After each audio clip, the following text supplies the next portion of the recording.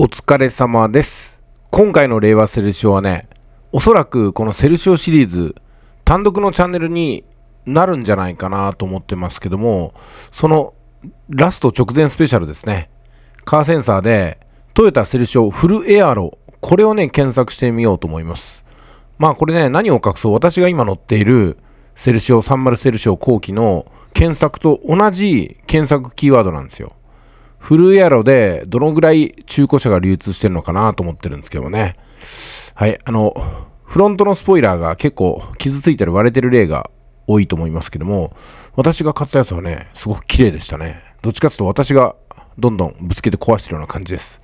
さあ、早速見てみましょうか。で、カラーはね、私ね、もう白と黒に絞らせてもらいます。すいません。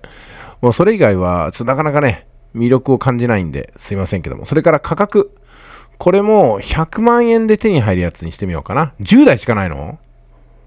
じゃあ、150万にするか。160、160万か。まあ、160万払いたいよね。49台検索してみます。さあ、最初は、あ、これいいですね。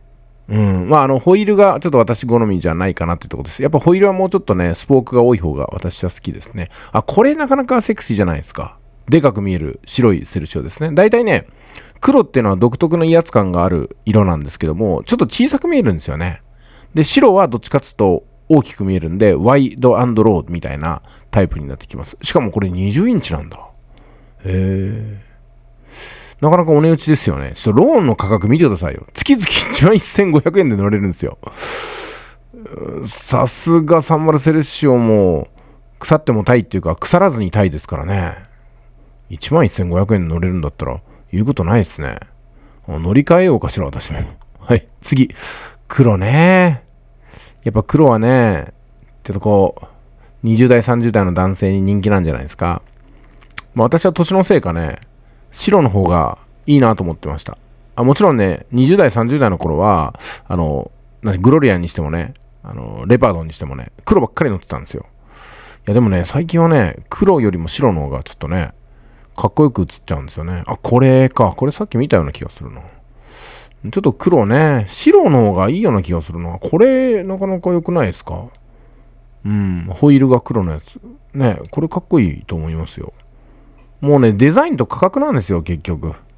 セルシオの選び方ってのも。うわ、むちゃくちゃいいじゃないですか、これ。え？ー、言うことないっすね。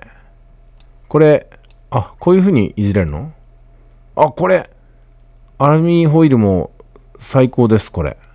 あ、これはいいな。20インチ。えー、これ、前のオーナーの人となんか、お会いしてみたいな。うん。すごい。これはいいですね。内装見てみましょうか。はい。内装もこうやって見れるんだ。へえ。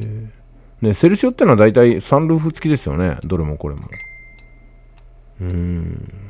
これなかなか状態もいいですね。あの、実はね、革よりもね、私、あの、布の方が好きなんですよね。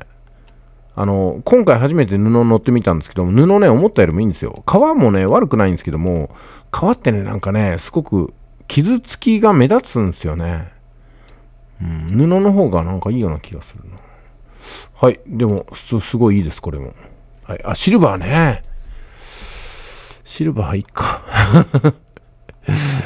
えー、やっぱこのセルシオのカスタムをしてくれているブランドの ASP っていうとこですか、ここ、ほんとなんか、かっこいい男性が働いてそうですね。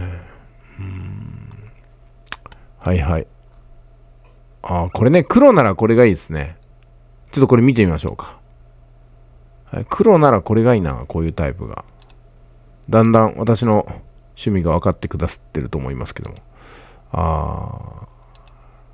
ヘッドランプがちょっとくすんできてますね。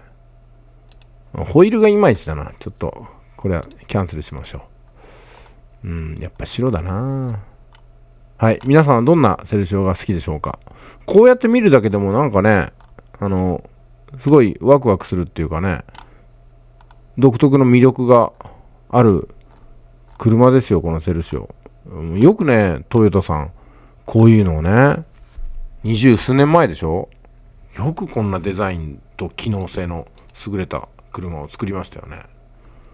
革命ですよまさに。セルシオを超えるのはねレクサスしかないみたいな言葉がありましたけど。まあセルシオもレクサスといえばレクサスですよね。いやーこれ。これがいいな。19インチだけど。これ。これがいいです。もうこれ最後に見て終わりましょうか。はあこれか。いいな。うん。パーフェクトじゃないですかこれ。内装。ああ今の私の内装と同じですインテリア、うん、あ黒のねレザーなんだ。